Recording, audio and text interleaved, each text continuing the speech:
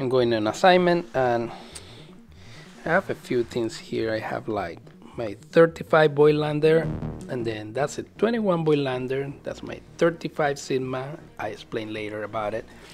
One of uh, that's my A74, my 85 Sigma Art, and then my good good 100V.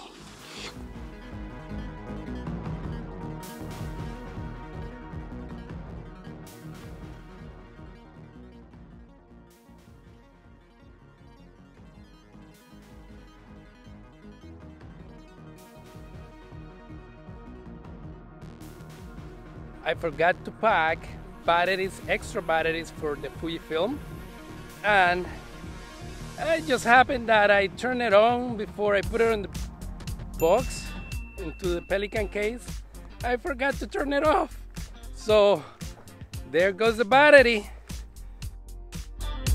So something that probably gets overlooked these cameras nowadays is that if you're an idiot like me uh, you can still get safe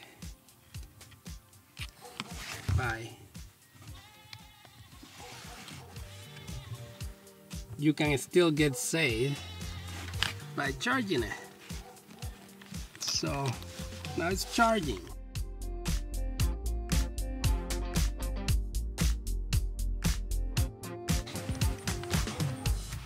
So Whew, that's rough. So that's a sunny day. Eh, don't let it fool you. It's like 22 Fahrenheit, which is not bad. It's a nice temperature. It's like light jacket temperature to me. Okay, let's hit another spot. Okay, today I didn't forget my batteries. So I have the cameras. I'm here in Greenwood, Indiana. I'm gonna be uh, taking some pictures on the Fujifilm of some very cool cars. They uh, people come from different places and they have their cars here uh, through the summer. And I didn't know, but they do it all the way until the beginning of the fall. So let's check it out.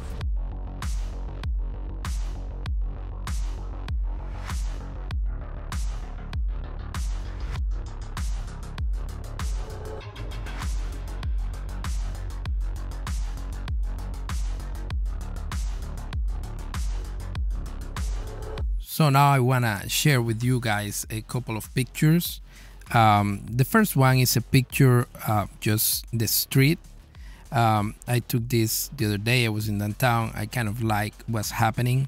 So I'm just cycling here through the different picture profiles that are built in into Lightroom and you can apply.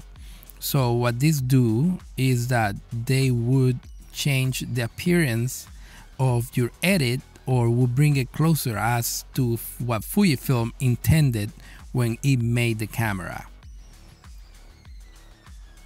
So I'm cycling here through all of those. Couple one more time so you, you can check them out. The Astia, Classic Chrome. People love Classic Chrome. Uh, I like it. Not a big deal for me though.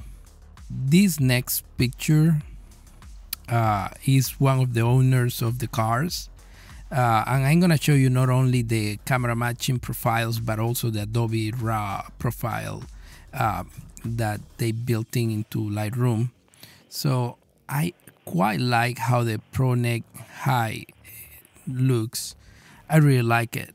Um, there are others here, so just just take a look at it.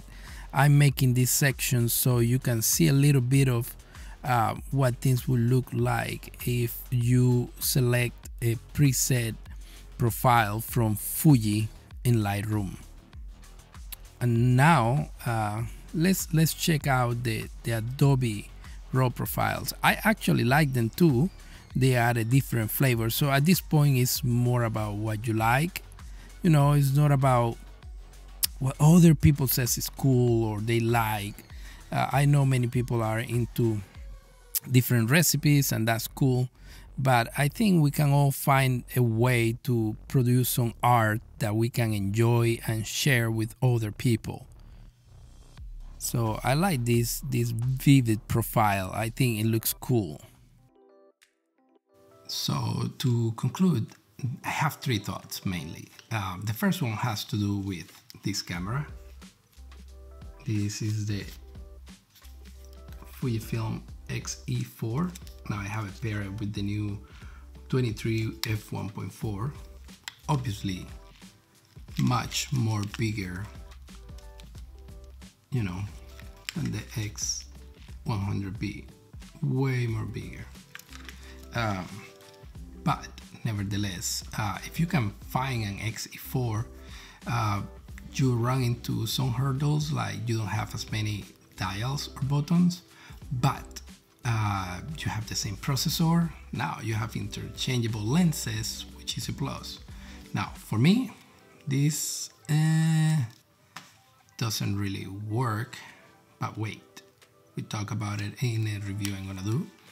In the other hand, the second thing I like about the XE, the X100V, rather, is that I can take it everywhere. I've been taking it any place I wanted to go it just works it get things done um, and then that leads us to the third thing. So is this the ideal camera? And uh, i don't really know anymore. I really have to think hard about this because this camera brand new is 13.99 now you cannot buy it for that price. If you try to find it it's gonna be like around 1600 some people selling it for 1800 if you can find it good luck. I mean it's too expensive now. That's where my problem lies. My workhorse is the a7 IV the same camera i'm recording this video on or with and it's just a great camera. So investing like 80% no more like 70% of the price of the a7 IV i have to think really hard I used to have two A74s. I sold one just because at work I don't need it. You know, work pro provides cameras for me, so I don't really have to have them. That's one thing. Oh. And shooting pictures. Uh, so I don't know. I don't know. Is this the camera for you? Maybe. If you have no other cameras, uh, if you want just a one do it all kind of point and shoot, not quite point and shoot, kind of professional, not really professional.